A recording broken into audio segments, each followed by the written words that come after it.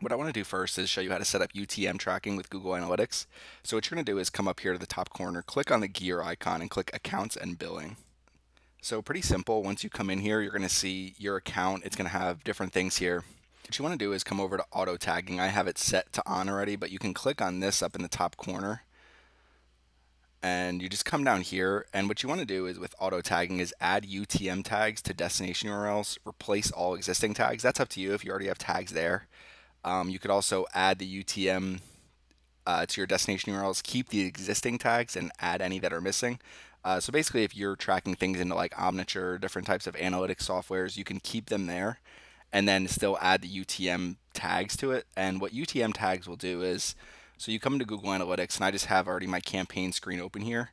Uh, so if you come into acquisition campaigns and all campaigns, what's going to happen is you're going to have your Bing ads come in here. So I have a couple different samples here. Um, so let's just say I have a campaign up here. It's called Bing Ads PPC campaign. So you click on it. So what it's going to show is the source and the medium of all the traffic. So the source of the traffic is Bing. The medium is CPC, cost per click. And what you can do is coming down in secondary dimension and say, okay, what's the keyword that drove this session? And I can see, okay, it's nautical bathroom lighting. You could also see what ad content is driving the session.